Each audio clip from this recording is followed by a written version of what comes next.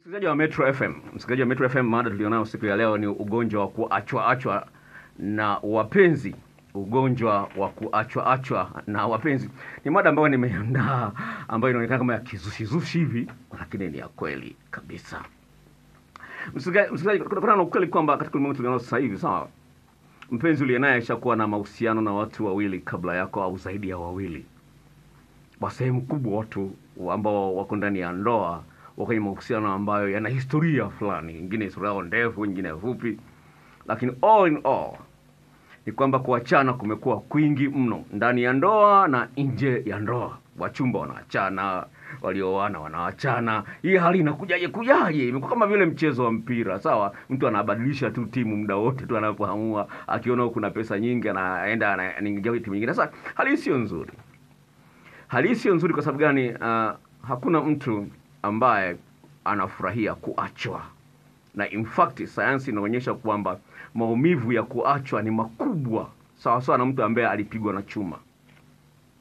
Sasa hali kama hii inapaswa tuielewe inakujaje kujaje, na hii ndio ma, maana halisi ya kuwepo na mada hii leo. Inasema kwamba ugonjwa wa kuachwaachwa na wapenzi.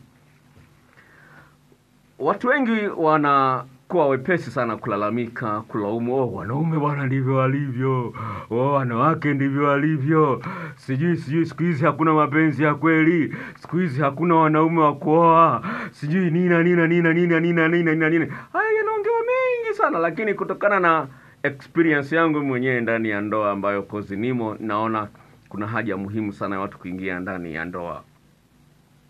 Mara nyingi mtu anapokuacha sio rahisi kwa yeye kukuambia makosa yako, madhaifu yako, mapungufu yako, na hii ndio inaumiza zaidi, kwa sababu wewe unajiona unastahili kupendwa, unajiona unakubalika, lakini unaachwa. Na sababu ambazo unazipewa hazina hazina sura ambayo unaielewa. Sasa napenda kuambia kwamba pale ambapo unaachwa achwa, sawa, nazungumzia kuachwa achwa, unaachwa mara ya kwanza, ya pili unaachwa, ya tatu unaachwa kuna vitu ambavyo vinaweza kuchangia hali kama hiyo kuwepo. Kuna mara nyingine utaachwa kwa sababu ambazo ziko juu ya uwezo wako. Kwa mfano, mwanamke anapenda mwanaume ambaye ni mrefu, wewe ni mfupi, utaachwa. Mwanamke mwanaume anapenda mwanamke mweupe, wewe ni mweusi, utaachwa. Unaweza kubadilisha ngozi yako sawa. Kuna wengine wanajichubua na nini, hiyo ipo sawa, lakini ni vitu. Huna pesa, kwa mfano sawa, huna pesa.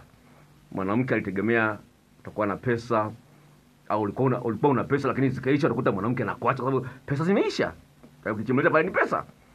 Sasa ni kitu ambacho juu ya uwezo wako, ni kwamba mambo yamekwenda vibaya, pesa imekwisha, ime, ime, ime, ime, ime mwanamke anakuacha. Kwa hiyo kuna mwingine utaachwa kwa sababu ambazo ziko juu ya uwezo wako. Kwa hiyo napozungumzia ugonjwa wa kuachwa achwa kwa sehemu kubwa naondoa hayo maeneo ambayo yako juu ya uwezo wako, sawa. Naondoa hayo maeneo ambayo yako juu ya uwezo wako, nazungumzia mambo ambayo yako ndani ya uwezo wako. La kwanza, unaonekana kwamba unajua mambo yote, hilo litasababisha uachwe, sawa.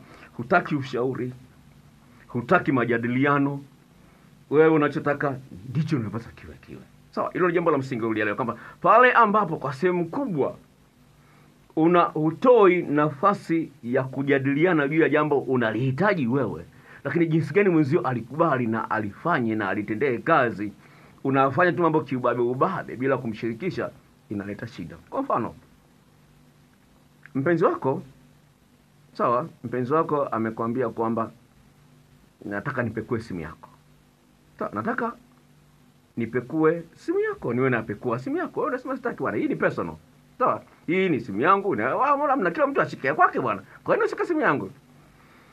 Okay, sasa pale mwenzio anapokuambia nataka nipekue simu yako, kama kweli unampenda, kama kweli unamthamini, lazima ujue kwamba hii ni haja ya moyo wake, ili yeye ajisikie anaheshimiwa, ili yeye ajisikie anapendwa, lazima ukubali apekue simu yako. Kwa wewe kumwambia bwana, hii ni simu ya kwangu peke yangu na nini kama hivyo na hivyo, hata uchi wako ni wako peke yako, kaa nao. Unaweza kuona vitu kama hivyo, sawa. Ni vitu ambavyo ni vidogo, lakini kwa sababu hujui tafsiri ambayo mwenzio anaitoa itakuponza, sawa. Kwa sababu hujui tafsiri ambayo mwenzio anaitoa. Kwa hiyo sio una- unajua kila kitu, kwa lazima ujifunze kumshirikisha mwenzio, hata kama ni dogo. Inaonyesha heshima kwamba unaamini kwamba mwenzio ana akili ya kutosha, sio unafanya tu mambo kwa sababu wewe ni wewe.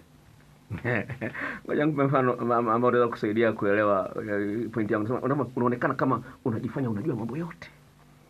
Sasa pale ambapo unafanya mambo bila kumshirikisha mwenzio, huwezi ukajua mwenzio ameumia kiasi gani, na hakuna mtu ambaye anafurahia maumivu. Kwa mfano mmoja, leo mke wangu kapigiwa na ndugu yake na na ndugu yangu mimi, sawa, natoka Musoma nawaletea samaki. Leo ni Jumapili, sawa.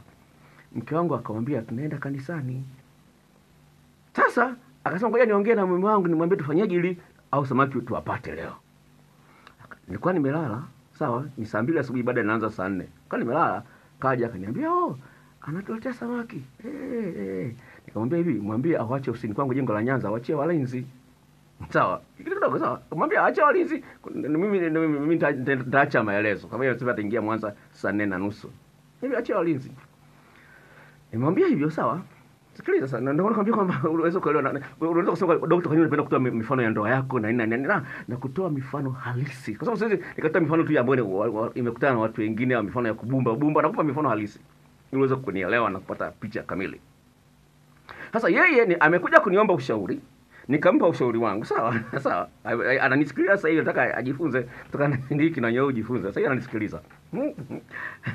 Na mke wangu ni mwelewa sana, haimuumizi haya mambo, hayamuumizi sana, anajua nilivyo, kama hayamuumizi sana. Basi bwana, sasa yeye akaenda akaongea naye na yule mtu akasema, akamwambia aache au samaki kwa jirani. Sasa mimi nakuta naongea naye naongea naye acha kwa jirani eh, eh, sawa. Sasa najiuliza kama alikuwa na akili ya kusema kwamba kwa nini alikuja kuniamsha kitandani? Ndio aniulize hilo swali, kwa nini alikuja kuniamsha? Sawa, kama kama anajua kila kitu sawa, kama yeye anajua kwamba alipasa mambo mipangilio yote anaijua, kwa nini amekuja kuniuliza mimi? Unaweza kuona kwa nini amekuja kuniuliza mimi? Okay, hilo limeisha. Sasa nikuuliza sasa jinsi gani ambapo kwamba unajua kufanya mambo bila kushika mwenzio na kuletea shida nini? Kachukua gauni tunaenda kanisani. Gauni sawa. Gauni limejikunja kunja sijui ni vaa hili sawa hili. Na mimi nikakaa kimya. Sio unajua. Sasa kwa nini kama unajua? Kwa nini nikushauri? Sasa ah sikumjibu. Kwa unajua. Gauni ni. Nimependeza ah wewe unajua. Endelea sasa wala tunataka kutoka sasa gauni lile lile. Akasema lakini lingine. Utajua mwenyewe. Unaweza kuona kila kila kitu anamwambia kile anachosema utajua mwenyewe. Kile anachosema utajua mwenyewe. Una- Unaweza kuona kwa sababu gani? Yaani naona kama nimedharauliwa, sawa? Nimezungumza kitu. Ilipasa hata kama ana sawa kumwambia jirani, aje niambie na mimi bwana. Unaoje tumwambie jirani huyu. Sawa? Kwa sababu jirani amenikuta mimi ndo naishi naye. Amenikuta. Sio kama anajua tabia zake kila kila tabia zake zote anazijua. Hajui. Sawa? Kwa sababu amemkuta huyu mtu mimi naishi naye. Sawa.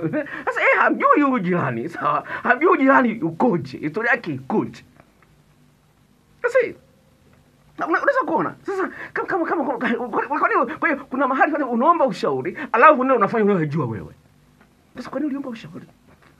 Kama kama kwa unajua kila kitu, kwa nini uliomba ushauri? Sasa kwa mtu ambaye anajifahamu, anaona amedharauliwa.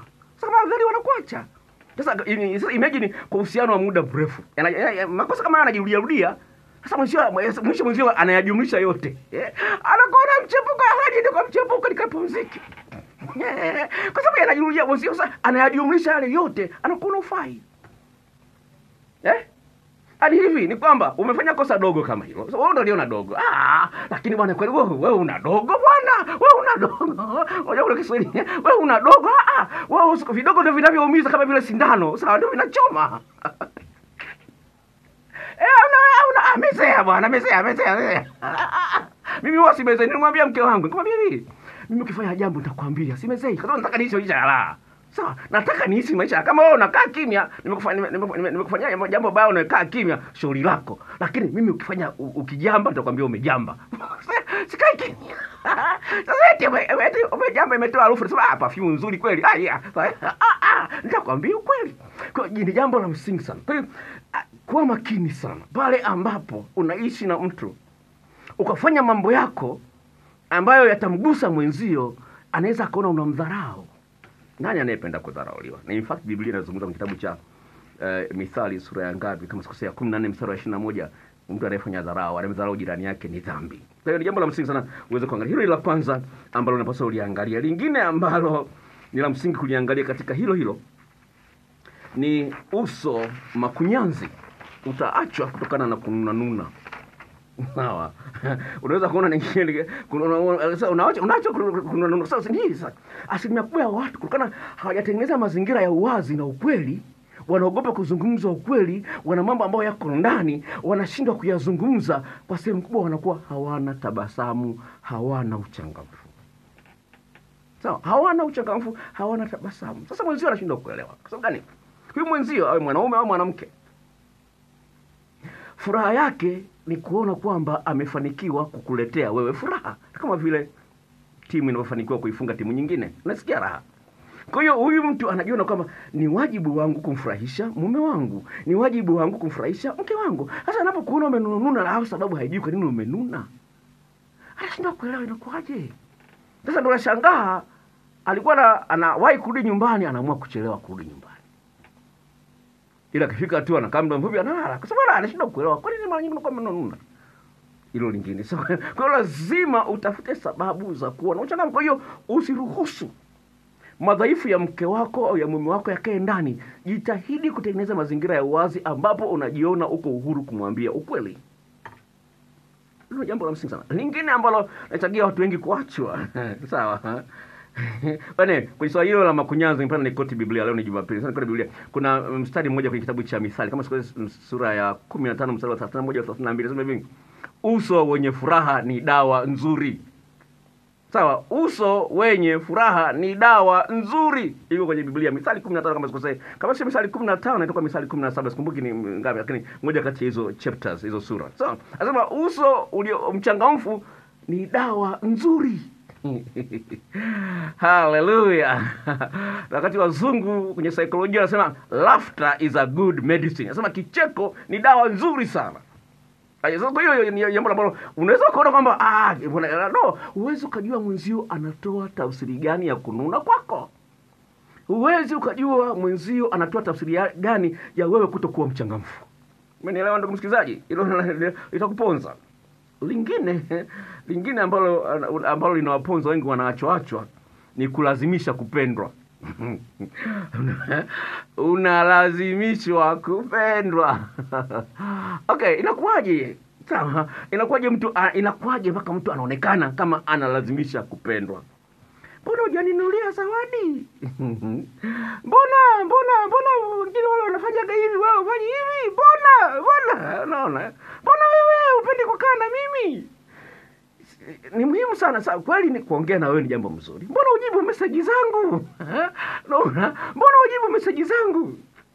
Nakutana na meseji nyingi nyingine zitakuja leo hapa, sawa? Kwenye kwenye kipindi hiki hii ni Metro FM, sawa? Wale ambao wanasikiza kwenye YouTube. sawa? Ni hivi. Ni kwamba pale ambapo unaona mpenzi wako hakupigii simu kama zamani, hakunulii zawadi kama unavyotamani akununulie, hakujibu meseji yako, manake hakupendi. Sasa jiulize, nimechangia nini kwa yeye kushindwa kujibu kwa anipendi? Nimechangia nini mpaka yeye anashindwa kunipenda? Sio kusema mbona, ah ah, hiyo haitoshi. Utaambiwa ah, ni kawaida tu. Unaona kawaida angalia kawaida, mimi niko kawaida, ni kawaida. Lakini kweli unaona amebadilika, lakini anakwambia kawaida tu. Kwa sababu gani? Kuna watu wengine hawana ujasiri wa kuambia ukweli. Kwa hiyo ni muhimu sana ujiongeze wewe mwenyewe, waangalie mambo ambayo yanayosababisha mtu akwazie mabaya, japokuwa uko naye. Ngoja nikupe story ya kweli sasa. Haleluya, nimeweka mada moja kwa sababu nimetoka kurekodi sasa hivi, sawa? Nimetoka kurekodi sasa hivi, nitairusha kesho, sawa? Ndio hivi. Uchumba wa Kikristo na hatari zake. Nimekoti nimekoti Biblia sana kwenye hiyo mada ambayo ndio kwenye YouTube. Sasa hivi dada mmoja nisikiliza, yuko ndani ya ndoa sasa hivi, ndoa ina yani ndoa ina machungu mno. Sawa, huyu dada akati na umri miaka 18 bikra, anasali kanisa la Kilokole. Sawa, kapata wachumba wanne kapata wachumba wanne wote sawa wakalokole. Haleluya, Bwana asifiwe. Wana sawa, kapata wachumba wanne. Sasa katika hao wanne mmoja ani anasema na hisia naye nyingi kweli, ani ana hisia nyingi kweli, mlokole mwenzangu. Haleluya.